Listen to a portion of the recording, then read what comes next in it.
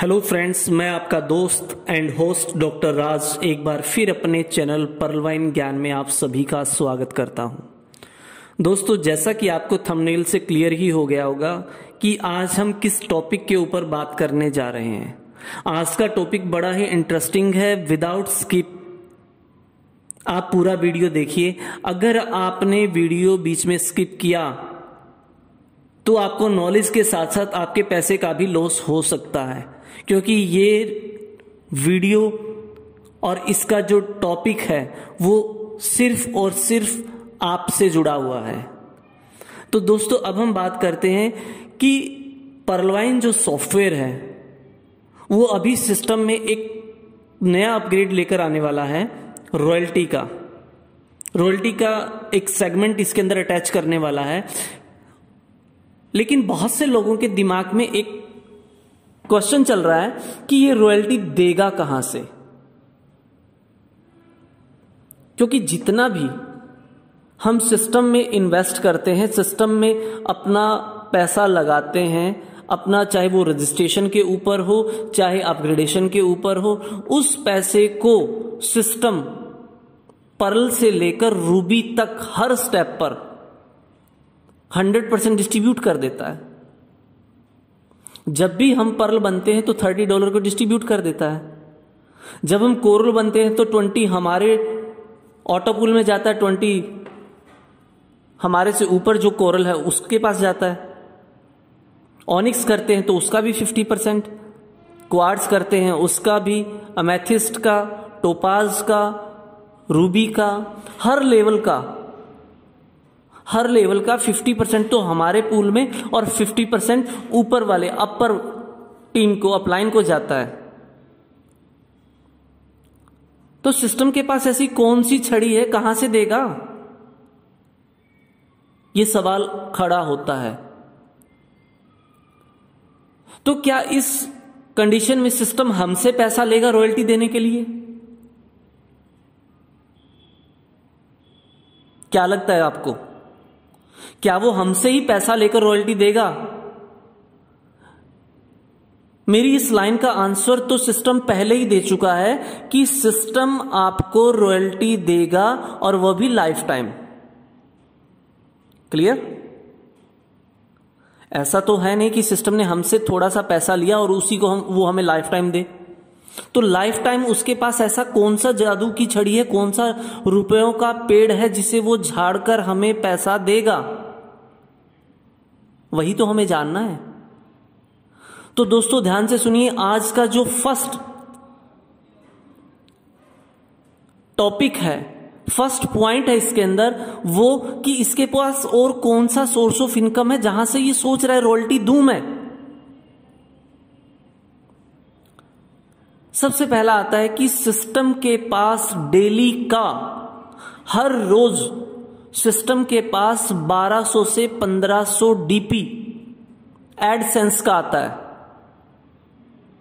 जी हाँ, परलवाइन की साइट के ऊपर जो एड चलती है, वहाँ से यूट्यूब या गूगल या फेसबुक, जहाँ भी इसकी एड चलती है, जो भी इसकी साइट है, वहाँ पर जो एड चलती है, वहाँ से इसको, परलवाइन को, डेली का 1200 से 1500 डीपी एडसेंस इनकम होता है।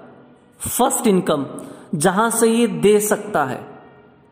ये क्लियर है कि ये हमसे पैसा नहीं लेगा।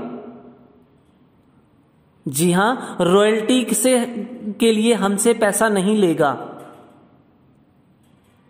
रॉयल्टी का मतलब ही क्या होता है कि सिस्टम अपने खुद के टर्नओवर में से देगा।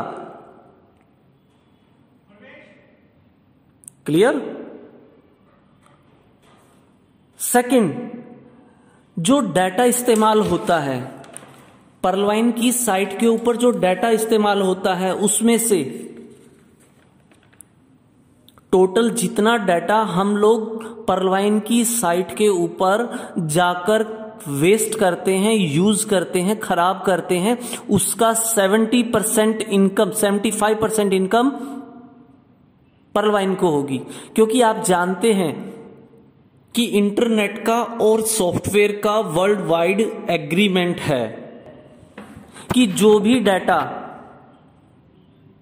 यूट्यूब या इंटरनेट के ऊपर, जिस भी साइट या जिस भी सॉफ्टवेयर के ऊपर खर्च होगा हम जिस भी सॉफ्टवेयर के ऊपर जाकर या जिस भी साइट के ऊपर जाकर अपना डाटा खर्च करते हैं, उस यूज़ हुए डाटे का 75 परसेंट उस साइट या सॉफ्टवेयर को मिलता है और 25 परसेंट सर्विस प्रोवाइडर को, जैसे जियो, वोडाफोन, एयरटेल, इस तरह से। तो पहला जो सोर्स है परलाइन की इनकम का कि 1200 से 1500 डीपी इसको डेली का एडसेंस का आ रहा है। प्लस में जो डाटा इस्तेमाल इसकी साइट के ऊपर हो रहा है, उस 100 परसेंट डाटे में से 75 परसेंट डाटे की इनकम इनको होती है परलवाइन को होती है। वहाँ से भी ये दे सकता है। थर्ड जो पॉइंट निकल कर आता है कि जब भी हमारी डाउनलाइन में जब भी कोई अपने आप को अपग्रेड करता है, कोरल में, पर्ल में, coral onyx quartz amethyst topaz ruby जब भी वो अपने आप को अपना लेवल बढ़ाता है तो वो सिस्टम को कुछ अमाउंट देता है। जिस अमाउंट में से 50 परसेंट उसके खुद के पूल में चला जाता है और 50 परसेंट अपलाइन के पास चला जाता है, जो उस रैंक पर होती है। अगर उसकी अपलाइन उस रैंक पर नहीं है तो वो पैसा मिंट की ग्रोथ में चला जाता है। वो डीपी मिंट की ग्रोथ में चले जाते हैं। अब मिंट को तो इन्होंने बंद कर दिया तो वो पैसा भी इकट्ठा हो गया, वो डीपी भी इकट्ठे हो गए। यानी अपडेट, अपग्रेड के दौरान जो फ्लैश आउट होता है डीपी, वो डीपी भी इकट्ठा हो जाता है सिस्टम के पास। अब सिस्टम के पास तीन सोर्स ऑफ़ इनकम है, जहाँ से ये आपको रॉयल्टी दे सकता है। फ़र्स्ट एडसेंस जो इनको इनकम आ रही है, वहाँ से। सेकंड जो डाटा इस्तेमाल हो रहा है साइट के ऊपर, वहाँ से। थर्ड, जी हाँ, थर्ड जो अपग्रेड फ्लैश होती है, वहाँ से। ये तीन सोर्स है, जहाँ से सिस्टम हमें रॉयल्टी दे सकता है। बाकी लास्ट एंड फाइनल डिसीज़न तो सिस्टम का ही होगा कि वो कहाँ से, कैसे, क्या दे रहा है। But according to my knowledge system हमसे कोई पैसा नहीं लेगा। क्योंकि इसके पीछे लॉजिक है। वो पैसा लेने के बाद मान लीजिए हम कितना अमाउंट दे देंगे उन्हें।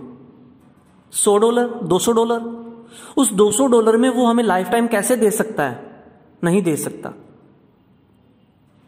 और सिस्टम ने क्लियर किया है कि वो हमें एक अच्छी रॉयल्टी देगा और लाइफ टाइम देगा। तो लाइफ टाइम के लिए तो रॉयल्टी जो देनी है, उसकी इनकम का भी सोर्स होना चाहिए ना? तो दोस्तों, अगर आपको इससे रिलेटेड कोई भी जानकारी चाहिए तो आप कमेंट सेक्शन में कमेंट करके पूछ सकते हैं। जय हिंद, जय भारत, जय परवाइन।